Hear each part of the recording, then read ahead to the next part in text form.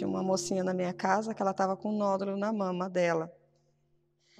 E eu, assim, eu vi, daí eu falei assim, nossa, é assim que é? Daí eu falei, deixa eu tocar no meu peito para ver, né? Daí eu senti um nódulo. Mas na hora eu não, não liguei, que era muito pequenininho. Eu falei, eu acho que não é nada. E deixei. Daí quando foi no outro mês, que eu toquei de novo, tinha aumentado, daí ele tinha crescido. Daí nisso eu já fiquei meio desesperada e fui no postinho, né? Cheguei lá, a enfermeira já pediu os exames tudo urgente, até que o mundo caiu. Porque eu saí lá do postinho já saí em. Eu falei, como assim? Eu tinha feito uns exames fazia seis meses, uma ultrassom e não tinha dado nada. E eu fiquei, eu falei, mas seja que Deus quiser, que não vai ser nada. Mas fiquei com medo, porque tudo que pede urgente já dá um desespero, né? E já comecei a correr atrás, e fui aqui, fui ali.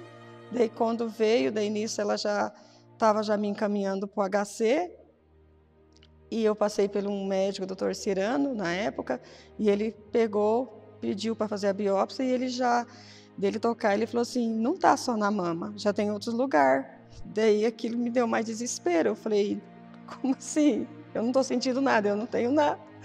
E já saí desesperada. Daí ele fez a biópsia, a primeira biópsia veio sem resultado. Veio que não tinha, sem, não deu resultado. Daí aqui no HC que eu fui fazer novamente outra biópsia, que daí veio com resultado. Daí já estava nas axilas, e daí comecei a fazer o, o, o tratamento, daí teve que entrar com as químio, depois já a retirada da mama, né? Fiz as rádios, mas então foi assim.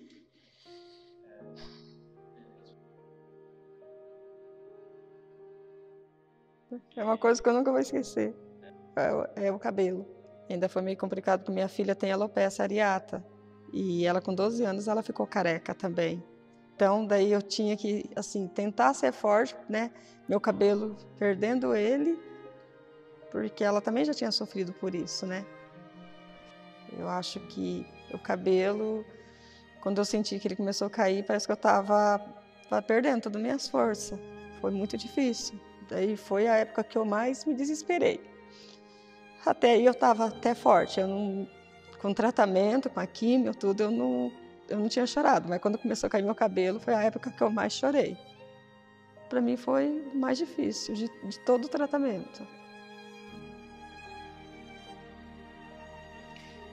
Para mim, o, o meu lenço que eu usei foi meu cabelo. Era tudo para mim, era assim, era um amigo que eu tinha tempo todo, quando eu acordava de manhã, que eu me olhava no espelho, eu já corria pegar ele.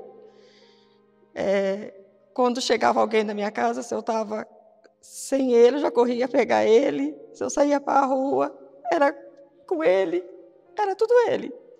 Até quando começou a nascer um pouco o meu cabelo, que daí eu fui me sentindo melhor, que eu fui, quando eu comecei a fazer a rádio, que o meu cabelo já estava crescendo um pouco, que eu é, larguei ele, mas ele foi me ajudou muito. foi muito meu amigo. Foi tudo. Minha família, eu aprendi muito.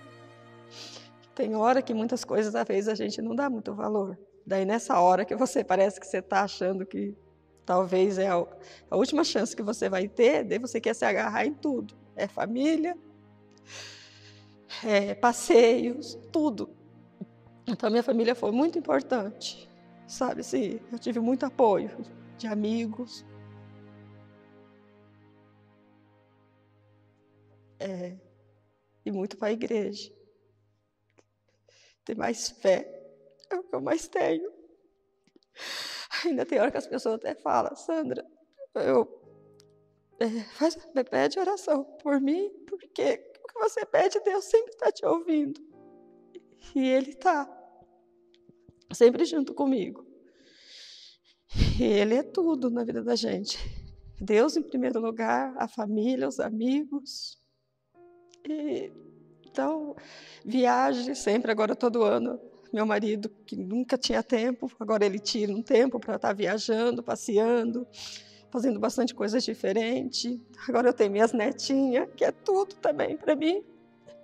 A melhor coisa que Deus me deu nessa época, quando eu comecei o tratamento também. Então, só, só, só tive coisas boas. Não posso reclamar. Só veio maravilhas na minha vida. Erga a cabeça e lute. E nunca desanima. Nunca, sabe assim, fique triste. Eu sempre procurava ser alegre. Quando eu chegava ali no meu tratamento nas químio, eu fazia amizade. Eu fiz muitas amizades. As enfermeiras eu, eu falo assim que ali foi uma casa para mim, você entendeu? Até hoje, quando eu vou ali, eu sou muito bem recebida. Que nem as pessoas falam, ah, eu tenho medo, eu não gosto de ir lá naquele hospital, naquele lugar. Eu não, eu me sinto bem ali, porque ali eu fui muito bem acolhida e ali eles me ajudaram. Eu tive muito apoio. Então, é a segunda casa minha, você entendeu? Para mim, ali não é um lugar ruim, é um lugar bom, é um lugar que me ajudou. Que talvez se não teria aquela casa ali, talvez eu não teria sido salva. Então, ali é minha segunda casa também. Ali é minha família. Os médicos, as enfermeiras, as pessoas, tudo. Eu não tenho o que reclamar daquele hospital. A minha filha, a minha filha, ela foi tudo, ela é até hoje. Ela sofre, ela sofreu, ela sofreu mais do que eu.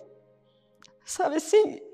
Porque ela não conseguia trabalhar, eu tinha que tentar ser forte por ela. Então, ela foi tudo. Ela, ela sempre me ajudou porque eu tinha que ser forte para ela não cair. Então, ela me ajudou nessa parte, por mais que ela fosse daquela maneira, mas ela fazia eu levantar, porque eu não, podia me abaixar para não deixar ela mal. Então, ela foi tudo para mim e ela continua sendo até hoje. Então, vai ser o resto da minha vida, a minha filha.